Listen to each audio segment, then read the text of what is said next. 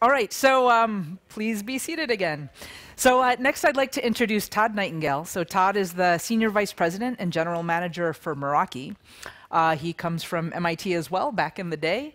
Uh, and what's interesting is how he's continuously managed to um, evolve the Meraki portfolio. So starting from cloud managed wireless to cloud managed networking to cloud managed IT, expanding into uh, uh, voice and video, telephony. So he's constantly been re, uh, renewing his business over and over again. And he's been a great partner as we've uh, brought Meraki into Cisco and bringing the APIs to developers through all of you. So let's learn from Todd. Thank you, so Todd. Much. Thanks so much.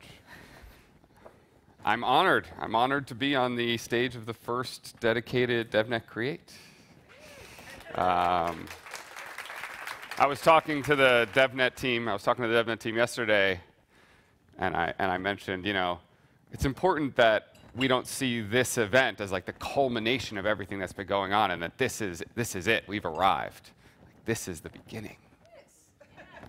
Five years from now, we're all going to be watching the superstructure get torn down at the end of DevNet Create 2022, and we're going to be saying, "I was there at the first DevNet." Um, I wanted to uh, talk a little bit about today, today about sort of uh, what our strategy is like at Meraki and sort of what we're trying to do, uh, what we're trying to do for your guys uh, and your teams uh, out there around the world. Um, probably many of you have uh, seen the Meraki mission, it, which is to simplify powerful technology so passionate people can focus on their own mission. And for a lot of years, um, we kind of focused on this concept of simplifying management and monitoring of IT. So passionate like CIOs could keep their networks up easily and, and get back to IT for education or IT for hospitality and hotels, IT for retail, whatever that might be. Um, but for the last 18 months, we've really kind of expanded that mission, right? To make powerful technology, powerful infrastructure that, like Cisco, that we're, we're good at making, simple for your teams to build on top of, right? So that you can go pursue your mission in the easiest possible way. Um, and we'll talk more about it, but uh, I, I, think something that's always held us back in, in this industry and like in the infrastructure industry is, man, it is hard to code on top of 4,000 distributed networking devices at 150 different sites that don't have good interfaces and don't have one place to query them. I, uh, and I've tried. Um, I, I, there was one time in my life I actually got paid real money to write software that, that shipped. Uh, my CTO doesn't believe that anymore. I think he's here. But, um, but this is uh, like, this is a real problem and has been for a long time, right? And when you really want to digitize an entire environment, and you want to make your business run, you need to automate all the different parts of it. And if it's super hard to build on top of the networking infrastructure, which in a lot of ways is kind of the core, you're going to a lot of times hit a bump the first, very first thing you try and do. So, so this is our mission, and, and, and we focus on it um, quite a bit. And, and, and when we think about how we build products at Meraki, we have a whole host of different kinds of principles, that we try to think about and, and stay uh, top of mind as we build these things, right? And, uh, and of course, staying mission focused is a big part of that, right? Simplifying powerful technology so people can focus on their own mission. But there's a whole host of other things. Um, and, and, and, these are just a couple of the ones I wanted to talk about today. Experiment and, and don't guess, we'll, we'll, save that one for the end. Um, focusing on the customer and not the competition that is really key. In fact, I was in an ops review the other day, and one of my product managers read me a quote, and I wish I remembered who it was from. And it said, Don't fight with your competition, date your customer. I love that. I want my product teams, I want my engineers to romance the customer, you know?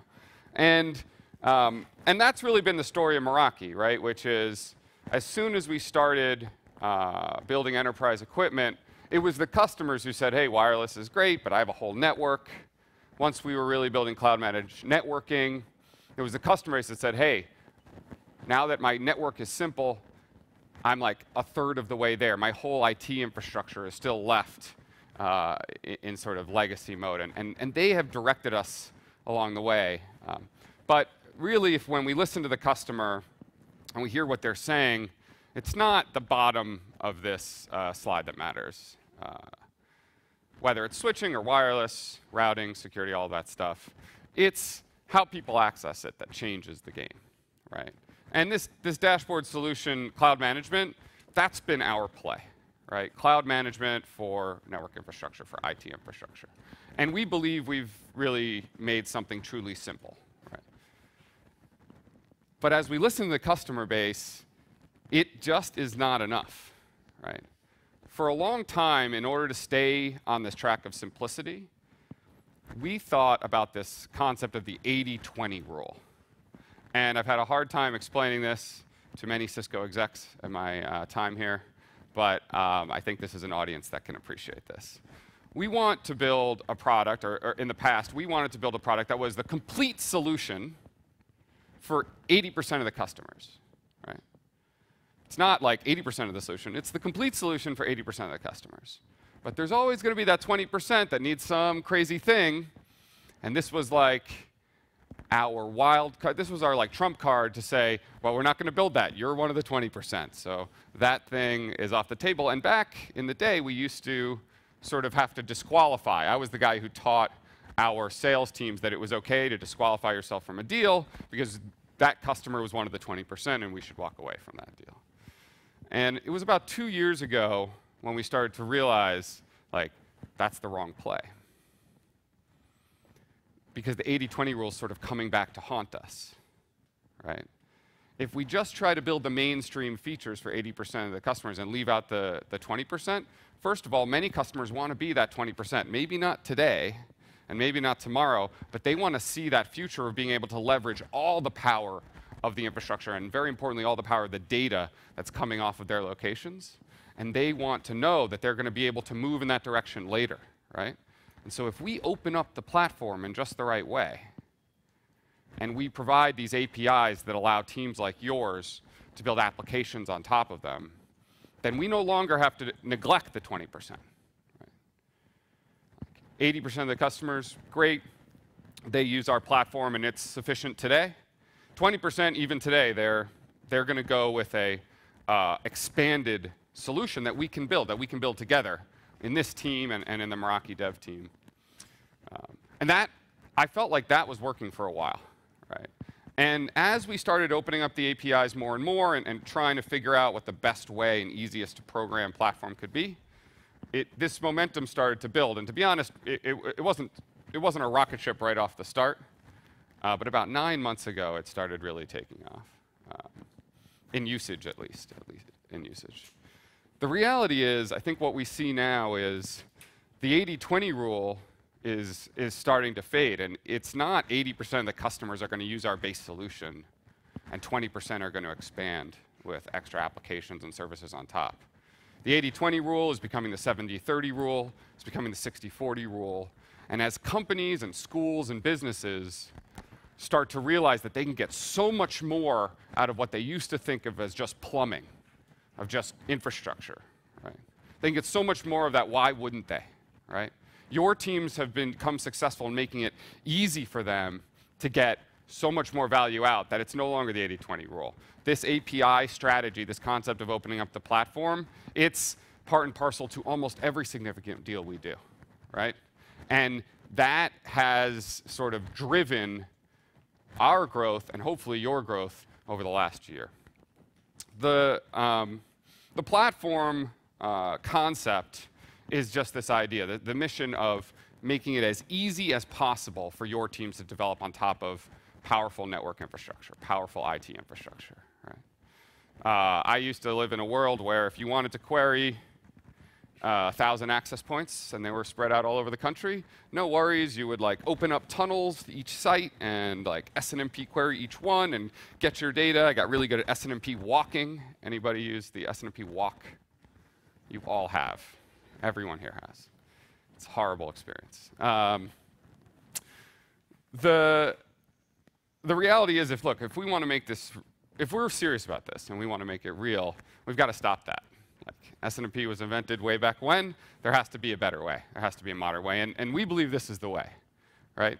The same cloud management technology that we use for IT managers to be able to use a dashboard, we can use that for IT programmers to build apps on top of, right? So that you can go to one cloud interface, one REST API, and you can access all of the technology, whether it be wireless or cameras, whether it's switching, routing, security, all of that stuff. And that one cloud, of course, it does provide our, our regular dashboard, but how we open up this API, what the right blue arrow looks like, sort of that's the key to how we can work together. And if we can get it right, like hopefully we can make your teams more powerful uh, with every step of the way, right? And this is sort of how we've started, right? So the first thing that we did was an automation API. Wait, I might be out of order. I don't know if it's the first, but it was right up there. It was right up there. Um, and this is this idea, we call it dashboard API at Meraki, right? And this is, hey, if you want to manage and configure this stuff, this is, this is how you do it. And tons of customers um, have already started using this. I want to I want to deploy uh, 25 Meraki access points at like my corporate headquarters. Okay, I don't need this. Like 25, no worries. I can configure 25 things in a web interface, no worries. I want to deploy 25,000 APs all over Mexico. Like, I don't want to click anything 25,000 times.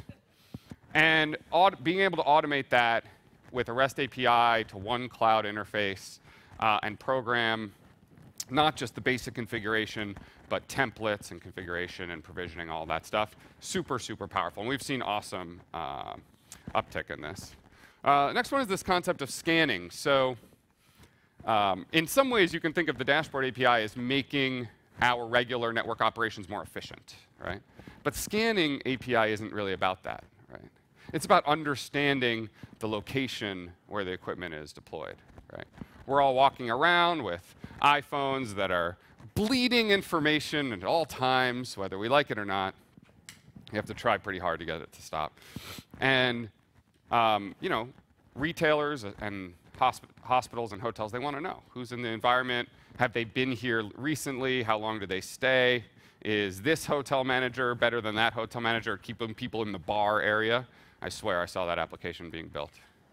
Um, and, and that's what this API is about, right? So it, what we found as we built it was kind of interesting. Like we thought it would sort of go like this. Okay, we have built-in location tracking, and that's good. And um, our locationing algorithms are what they are, and like we think they're great. But we're going to have some people who don't believe in our location algorithms. They're going to want the raw data, and they're going to do their own locationing algorithms. And maybe they'll mix our data with video camera data, or they'll mix our data with gyroscope data from the devices, and they'll do even better. That'll be great. And it turns out, um, like, one size does not fit all. Right? We released our raw data uh, into the API, and that helped some of the people. Then we got a lot of requests, hey, I don't want the raw data. You just give me your location, whatever you calculated, and we'll work from there. And we added that. And then most recently added Bluetooth as well. And so all of these things making it better and better, easier and easier to scan for devices in the environment and even track them through the environment. Um, the, the, last one, and I guess this might have even been the very first one uh, we ever implemented, was Captive Portal.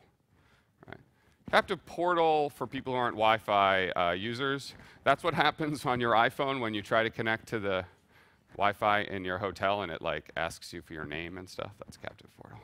You have, you've been captivated. Um, captured, I guess is the word. And the, um, it's interesting because the, how you, how you operate with that captive portal, it has been done by like every Wi-Fi vendor in the world, and everyone does it a little differently, and exactly how you do it and how you operate with the developers who are building the, uh, the captive portal, the like web presence that uh, people click through to get on the Wi-Fi, it changes the usability. And to be honest, you have to chase it as Android like keeps changing how they get people on Wi-Fi, the captive portal has to change, and sometimes even the API has to update. And so you have to chase this thing down, right? That's another reason why this community is such an important one, is that as devices change and networks change, these APIs will not, not be able to be static uh, 100% of the time. Um, so I wanted to talk a little bit about these APIs, but also how they're being used uh, in the environment. What we've seen is there's sort of two camps. There's a group of customers who take the APIs and they build on top of them, all sorts of different things. And that's a, um, a set of very large customers usually. And then there's a, a, very large partner community building on top of these APIs and really getting that, um, that value and being able to sell it back into the customer base uh, with us, right? And I want to talk a little bit about the customer side because it, it is interesting uh, what they do. This is a uh, top 10 uh, retailer in the US, and uh, they deployed thousands of Meraki devices. We went with Acme Corporation to preserve the confidentiality. Retailers are very sensitive. But um, they had an interesting play, right? So they wanted to roll up, they wanted to uh, deploy out 1,800 sites all over their, uh, all over the country. And they have a problem that their sites are like, they don't have people at every site. They have third parties rolling stuff out and doing all sorts of uh, different sets of IT uh, at each site, and it's super painful for them, right?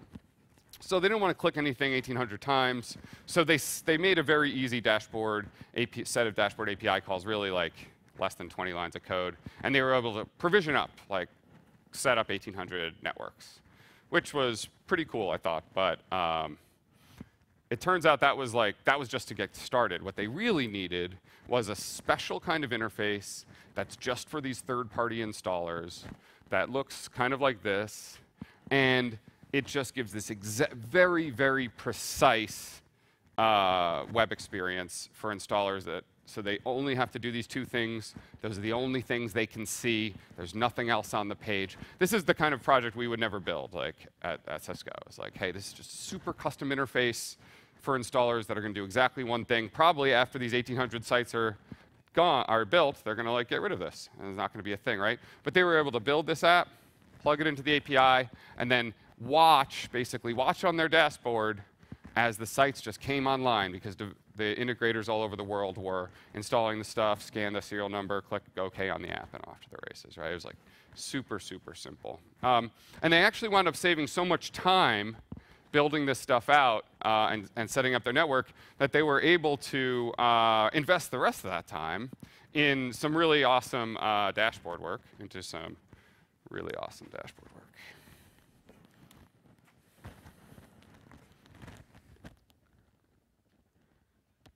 Microsoft PowerPoint isn't responding right now. It's not the best. There we go. Really awesome, uh, really awesome dashboard work. They use the Datadog infrastructure. Play through, play through. Um, they use Datadog infrastructure, and they were able to build like uh, really cool dashboarding that shows how the sites are coming online. Um, and you can even see the historical count here. This upper right kind of heat map looking thing is showing how many clients are actually online and how much data they're uh, they're uh, generating over time, right? And this is the kind of thing that's built just for them. It's very uh, uh, specific for their business. They were able to build this in because they really saved a ton of uh, resources in the build out, right? Um, I think that's a good example of the, of the customer side. Um, but I think the, to be honest, the, the, the most sophisticated apps we've seen so far, for the most part, are being built by, by partners. Right? I know we have a, a bunch of partners in the room today who are building uh, different types of applications, of cloud services all on top of these APIs. And I've been incredibly impressed uh, with the progress so far. Um, here's one. Subway, uh, this is Subway in Canada, actually. Canadian subways, they're lovely. Um, and they've got an awesome, uh, they had an awesome kind of initiative. Their play was what they call like cross-selling uh, or, ba or increased basket size, right? I'm not too good for Subway. I, I love a good Italian sub uh, at Subway. They bake their own bread. It's delicious. But I've never bought soup at Subway, and probably neither has anyone here. Um, and but that, but that's the concept here, right? It's like, hey, if we can get people who are coming in for a sandwich to buy a soup, then like the business is going to be that much uh, that much more successful. And they really drove this program through an app um, that they built out, the, their Subway app, running analytics using the Wi-Fi, and then noticing what the buying behaviors were and like what kind of offers they had to push to get people to buy soup. Like the people who buy soup, do they always stay at the subway or do they leave, et cetera, et cetera. Uh, what they found out was sort of interesting, right? It wasn't the, the cross sell to soup maybe wasn't the most important thing in the business. What they did find out is people who opted in to use the Wi Fi and use the app, they were way more likely to come back. Right? Maybe Subway is, turns out, is like less of a sandwich grab and go shop and more of a cafe where if you like get engaged and you're online and using the app that you want to stay. If you spend 25 minutes in Subway, you're way more likely to buy soup, I bet, but I don't know. Um, it's not my, it's not my specialty. Um, uh, another one that I, I'm personally really proud of is this work we do in Mexico. It's called Mexico Conectado. It's a huge deployment all over Mexico at federal buildings all over the country. And um, this was an interesting partnership. We worked with Splunk. There was also a Mexican development team within Cisco, and they worked uh, closely on building really advanced dashboarding specifically geared toward this deployment. Uh, a lot of this deployment was geared specifically at reaching people who'd never really had reasonable internet access before in rural buildings all over uh, all over Mexico. Uh, 22,000 sites was the first was the very first rollout, um, and they built a, a, pretty great dashboard. It was really to read up to um, to be able to be read up to the uh, to the government officials that were investing in this and showing how the different sites were being used. Uh, it was a very, very complicated deployment. In fact, there were like a dozen different service providers all bringing up and monitoring uh, different parts of it. You know, one service provider had 1,000 sites, the other guy had 4,000, 2,000 here.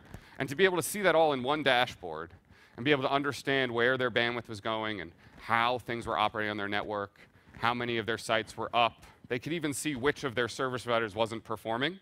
Like, oh, this service provider, they only wind up getting their sites up and running and actually being used in like city you know, uh, metropolitan areas, and the rural areas are being neglected, which is very common because it's uh, super hard to get good bandwidth out to the rural areas.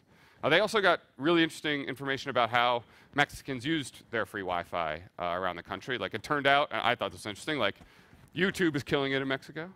Like that's awesome, and uh, and Facebook too. In fact, uh, but like Netflix, there's almost no penetration in Mexico. Like and Netflix usually uses all the bandwidth. They're like the bandwidth hog of the internet, but like that's not true uh, in, Mexico. And like, it, I think this shows the kind of opportunity that they have after they are able to make sure that all the sites are getting good Wi-Fi and that they are serving uh, both the privileged urban communities and also the uh, rural communities that might have a harder time, they'll be able to do deeper levels of analytics, understand how what's really happening on this network, and maybe how they could help people uh, use it better over time. Um, there's an interesting uh, use of the APIs I wanted to talk about for a minute. So um, at Meraki, we were acquired by Cisco about four years ago. And I'm hoping that this will be the first event I ever attend where I'm not asked, when are we going to merge the Cisco and the Meraki equipment? Uh, and I think it might be. It hasn't happened yet. I'm super excited. Um, we're not. We're we're, we're, not, we're not merging it. We're not merging it. Um, but within Cisco right now, maybe the hottest topic is how do we let our customers manage and monitor this equipment from one single place? How do we get visibility into this infrastructure if you happen to have like Cisco at the core and Meraki at your stores or Meraki at your branches or whatever it happens to be? Meraki wireless, Cisco core, we got great aggregation switches you should try out, but anyway, all that stuff. Um, it's like the hottest topic. I, I, I take meetings on it all the time and different possibilities and proposals, and we're using the APIs right now to allow these applications to be built, right? To allow like a network automation or better IT automation system to be built where Cisco infrastructure all across uh, different business units different parts of the network can be managed by one place. Maybe it's not just networking. Maybe it's all the campus networking, whether you're Meraki or the traditional stuff. Maybe it also is for data center, maybe the collaboration and IoT. All the different systems from Cisco could be managed by a single place. Maybe beyond Cisco. Maybe it doesn't matter what kind of gear you have, Cisco could build an automation system that would be able to manage all that stuff. And I think that's an awesome uh, and powerful goal, right? To be able to manage your Cisco infrastructure from a single app. And maybe the team that's going to build that app is working at Cisco right now and they're building it. and maybe not. Maybe the person who's going to build that is in this room, right? Because the APIs that we are publishing and developing and working on for this uh, initiative, there is no way that those are going to be some secret private API because we're we would never take that risk, right?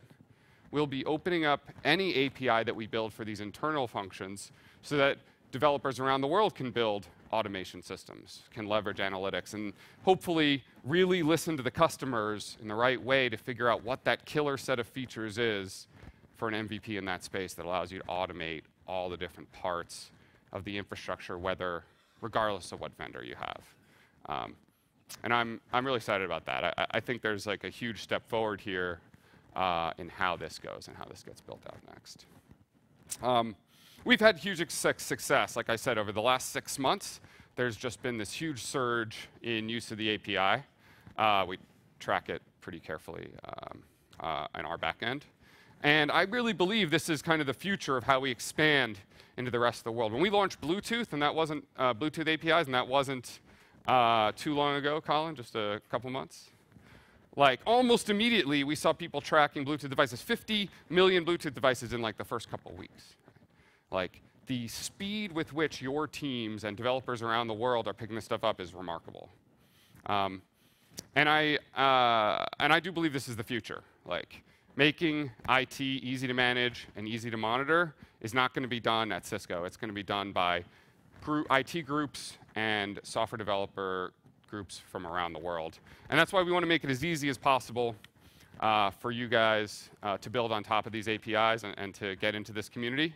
Um, so we are uh, giving away uh, a million dollars list price, list value, or whatever that's called, a million dollars worth of equipment, uh, of Meraki equipment, uh, to developers who get on the system, who start using the APIs. And if you do a mini lab, or if you're remote, you don't have to do a mini lab, you can do a learning lab, then uh, we were, we're going to send you some free gear um, so that you can jump in and really, uh, and really build this stuff. I really believe in this idea of experimenting and building, getting your hands on the equipment, getting your hands on the API, and working on it. Um, and that's what I sort of wanted to leave you with, is this idea of um, you know, that process and, and how to build uh, how to build great products. Um, my CTO, Brett, he, uh, he, he's been telling me for a long time, speed is the ultimate superpower, you know, respect the MVP process, experiment and do not, um, experiment and, and do not guess, right? And we think about that, a lot of times we think about like, how do you think about how you build uh, great products? And sometimes we think about it like this um, this concept that you know, you're going to start with a concept and you're gonna, your, your dev team, you're going to build uh, that feature set out over time, and then hopefully eventually you'll reach a point where you feel like you've got a prototype to show people, and then eventually uh, your product maturity or stability reaches this state of, uh, of being really shippable, ready to go for a 1.0 product. Right? And really the key is this bottom left corner, right? The key is really to find experts, not just in the technology, but in the market as well. And, and to build kind of a small team that's cross-functional in engineering, and product, and marketing, that can understand the whole problem space and really see what that product is going to look like, not just today or in six months, but what that product has to look like in 18 months or 24 months, right? Because that first stage, the planning on day one, that's most important. And if you get the right group, if you get the right set of experts, you can really plan what that future product will be and what you are going to ship in the future, right? And that is the key to building a product in this sort of straight line thinking. Right? And look at that graph, it's beautiful. it is predictable not just in budget, but in time and resources. As a general manager, I love this graph. Uh, my CFO, Kelly Kramer, loves it. Understand when the product is going to be shipped. I can see when I'm going to start making revenue. It's beautiful. But it is total bullshit. no product I have ever been a part of has been built like this, and nor should it, right? If you think you can find a group of experts and put them in a room and they're going to know what the product should be like in 18 months, you are not an expert. like, no one can do that, right? No one understands enough about the technology and the market and the future customers to make this kind of guess, nor should anyone. Don't guess, experiment. When you build, when your teams are out building products, please build them the way Brett and, and our engineering teams do, which is through iteration and experimentation, getting feedback along the way, and having the courage to throw out your work and start over. It is a beautiful and freeing exercise. Um, and this, this exercise of iteration, this is the journey that we are on too. Like, we are going to be building APIs and opening up our platform for years to come, and we are going to continue to experiment and get feedback from you and understand where to go and where to change direction and, and how to, and, how to uh, make the platform better. So thank you so much. I appreciate everything. Thanks for the time.